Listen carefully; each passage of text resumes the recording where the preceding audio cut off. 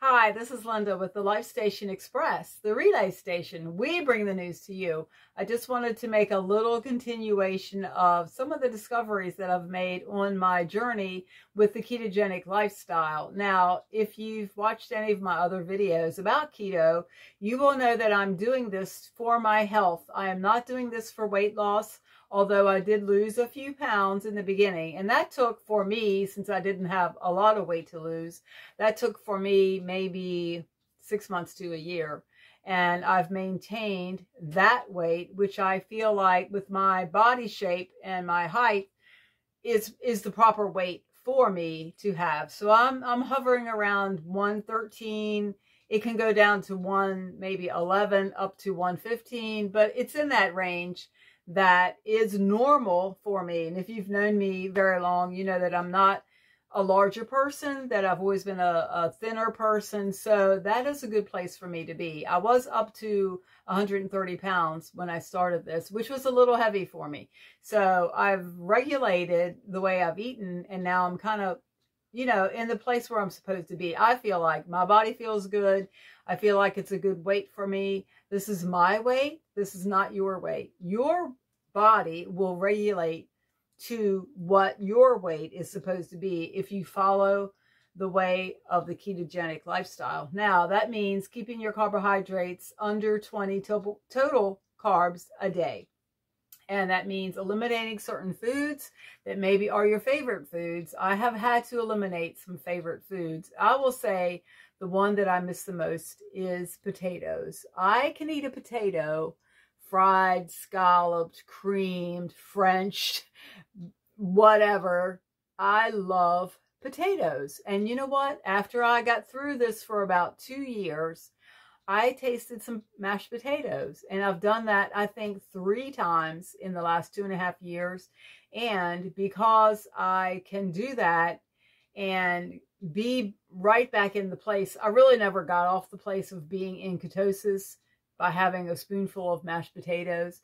Some people cannot do that. If you cannot go back to a food and just have a taste of it, say you're a sugarholic or you're somebody that really craves and has that addiction to sugar, you might not want to try it. I am not a sugarholic. I do like sugar. Who doesn't? But I think probably on for me the potatoes and the starch, which turn into sugar, would be a really a place where I could have a downfall if I wasn't really aware of what I'm doing. Now I have my why, and if you've watched my other videos, you know what my why is. I need to keep on track for my health because I want to be here for many more years. So I'm just sharing that but I will tell you, this is what I've discovered next. I did make a video several months ago about the seasonal way Richard and I live. We are here in the camper, in our camper, there you go, six months out of the year. We are here from the middle of April until the middle of October. And then the campground closes. They turn the water off, they turn the electric off, and we all go back to our regular homes. Now, we do have an apartment that we keep during the whole year. But during the winter months, we are at our apartment. And I made a video earlier, a few months ago, about the differences that I was noticing. And I think it was because in the winter, you're not moving around as much. In the summer, we can go outside. We can take walks. We can, I can ride my bike. We can do different things. It's a little more active, not a whole lot but a little more. And I was noticing I was eating a little bit differently while I was at the apartment during the winter. And I talked about my fat intake and that because my body doesn't hold, how can I put this? I don't have a lot of fat reserve. I guess I can say that. So I was eating, I was overeating a little bit on the fat end of it, a little too much um, bacon grease, a little too much butter bites, a little too many of the little chocolates that I make that are like little fat bombs. Those are great. And those really, really help you to get going in your ketogenic journey. They were awesome. But I noticed when I was home, that home in the wintertime, um, I was a little more not moving around so much. And I think I was a little more in the kitchen and able to Just eat when I wanted to, eat what I wanted to. Not that I went off a of keto, I never did. But I think I had a little too much butter, if you want to, I can say it that way. And I love butter. And I was noticing that I was using butter in the place of a snack and I was using butter in the place of a sweet if I would normally have a sweet. Like I would make the little chocolate um, fat bomb things, which are delicious, but you only need to eat one or two at a time. You don't need to eat more than that. And it, it's not that I was eating more of them at a sitting, but I would pick on them throughout the day. And I think I was just getting a little bit too much fat. So I noticed that and I pulled back on that. And then I also noticed once we got up here to the campground, I kind of change again. And it, it's funny, you do the, you make these changes and you really, you just don't notice it. You don't notice it. And again, this is June. So we've been here since the middle of April.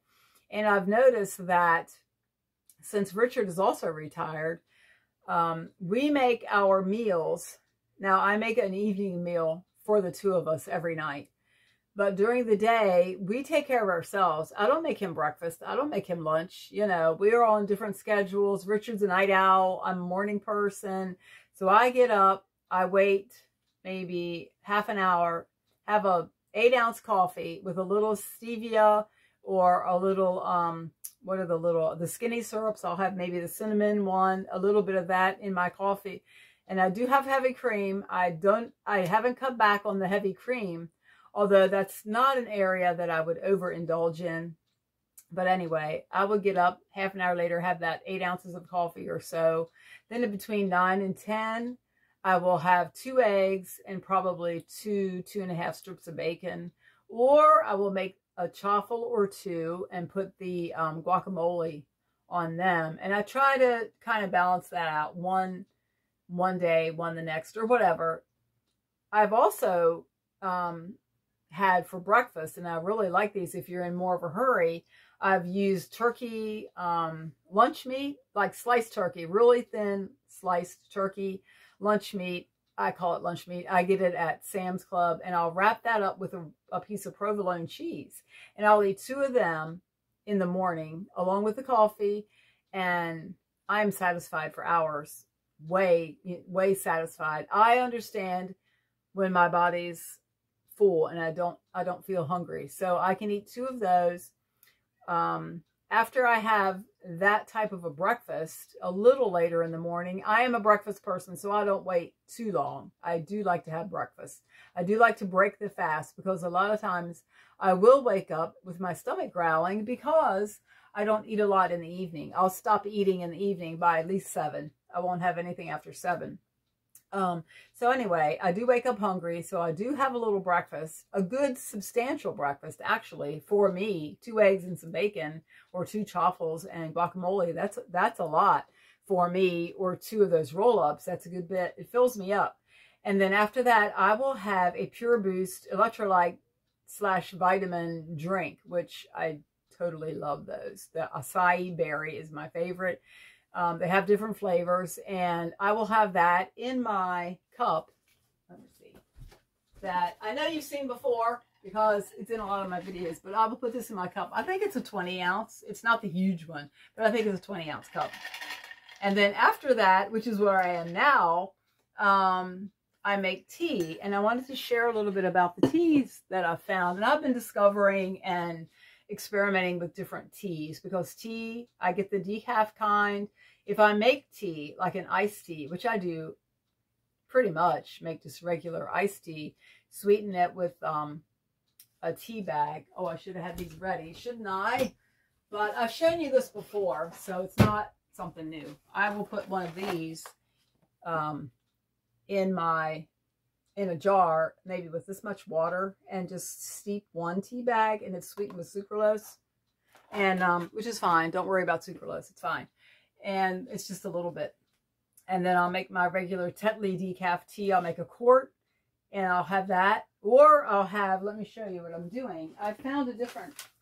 I'm looking at different brands of teas because if you've seen them advertised on social media, they make them look really good. They, they pour the tea over the ice in a crystal glass and they make it look so good. And I did order some from Adagio Teas. I guess that's how you say it. And I, I got several. This is called White Peach.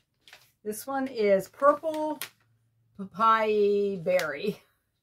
And this one, I got three or four of them, It's Wild Strawberry. They were all really good. They all taste really good. And what you do, and again, I just make a quart jar. I don't make a big old pitcher of tea every day. Richard doesn't drink tea. I wish he would, but he doesn't. So I just make it for myself. And they come, this brand comes in these little diffuser, like, oh my gosh.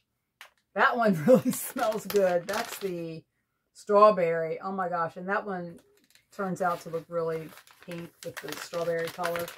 Um, and they're natural teas. This one says, honestly, I'll just read it. Sweet strawberry and sugared rhubarb aroma. Beautiful warm color and a pleasant aroma. Steep hot or refrigerate overnight in cold water. It has rose hips, hibiscus, apple pieces, natural strawberry flavor, strawberries, and raspberry leaves. Now, it says it's sweet, but honestly, I don't worry about any sweetener or any natural sugar that might be in a little bit of sweet herbal berry tea. I don't worry about it. It's not enough to kick me out of ketosis or do anything. So I will put that in a quart jar as well and steep it. If I want it sweetened, I'll just add one of these as well to that. So that is kind of what I'm doing.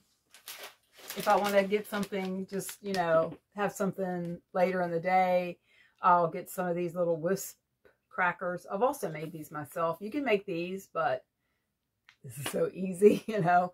Um, and this is funny because this brand, they're really good. They're just cheese. They're just cheese. So again, carbohydrates, it says one for this, this whole pack. And I get these at Sam's Club as well. It's funny because on the back of the, of the package, it says Whisp, uh, Whisps with an S, logo, and the distinctive, oh, it's so small, circular shape of Whisp cheese crisps are trademarks of Whisps snacks and may not be used without permission. So I guess you can't duplicate these and sell them, but they're really good. This is the cheddar one. I also get the Parmesan cheese one. But those are just some things that um, I find myself, and the point of this video is I find myself not grazing while we're here in the camper as much as if I was inside, I'm sorry, inside, indoors, tried to say that all at once, indoors during the winter. And um, I work at home, so when I'm working, I'm not eating, but when I'm not working, you kind of, you know, unless you're doing something else, and I do a lot of study and a lot of research and that kind of thing. But I just find that the atmosphere here at the campground is a little more conducive to not eating as much. So what I do, again, I'll go back to it. I have I have a little coffee in the morning, just a little, it's decaf. And I don't need caffeine. I'm one of those people. I wake up ready to go. I'm one of those people. So I have decaf coffee, and right now I'm drinking the Aldi brand. It's really good. And um, then I'll have the two eggs, some bacon, or the other breakfast proteins that I shared with you. Later in the day, I don't really do like a lunch. I might do a little cheese, a little lunch meat, a little something just to kind of hold me over. And some people say you can do that. Some people say you should not do that because every time you eat, it's a meal. You should consider that a meal because you're you're um, having an insulin uh, an insulin um, reaction. So your body is using that food, and um, you know it's doing what it's supposed to do to function correctly. But I think at this point, for me, the way I've been doing keto, it, it's fine. I, I'm not again watching what I eat for my weight. I'm watching what I eat for my health. And um, just wanted to share a little bit about that, that every six months, my location, our location changes. And I have to be a little bit aware now of where I am, how am I going to eat? And I think all of us should look at, you know, if we find ourselves over snacking, we find ourselves, you know, too hungry or not hungry enough. Or I know that if I would skip my breakfast or if I would say I'm having a late breakfast with a friend, we might be going like to Perkins, which is my favorite place to go just because it's easy to get, they have food that we can eat at Perkins. If I'm, say I'm meeting them at 11 and all I've had is, is eight ounces of coffee, I might be really hungry and I might overeat. Or if I'm waiting, and say somebody's coming to visit me here and we're going to eat at 11 or after that, I'm really hungry and I might overeat just because I want to eat because I haven't had food for a while. But after two years, two and a half years, it'll be three years Thanksgiving that I've been doing this. I'm learning what my body needs. And the whole point of what I'm doing today and saying to you today is you've got to figure this out for yourself. My body is not your body. Everybody's physical makeup is different. We do have generalities, which are the same. Yes, again, keep the carbs down move a little bit, do something that's going to get your body moving. Um, you know, just whatever you need to do. And I know I've made a video back further about using my rebounder because when I'm at the apartment, I'm not as moving around as much and I get on the rebounder and that cleanses your lymphatic system. So there are all kinds of things to do. Please take and look at other people's videos and get a lot of this information in yourself so that you know what to do for you because it will benefit you greatly and you'll live longer and you'll be feeling better. You'll know what it means to be hungry. You'll know what it means to be satiated. You'll know it, how good you can feel when you get off the sugar. I'm telling you, I was never a big sugar sugar eater. I mean, I like sugar, but I mean, Oreos were, I love them and other things, but when you get that sugar out of your body, you feel energized. You, if you have any pain, your pain will start to leave. It's just amazing what being on a low carb or ketogenic or even a carnivore lifestyle will do for your overall health. And I think that's all I wanted to say. I kept this under 20 minutes, which yay me, proud of me for doing that. I will talk to you soon. I think that's all I wanted to say. This is Linda with the Life Station Express, the relay station. That's the news we're bringing to you today. And I hope you have a wonderful, wonderful day and week and month. And until I see you again, God bless. Bye.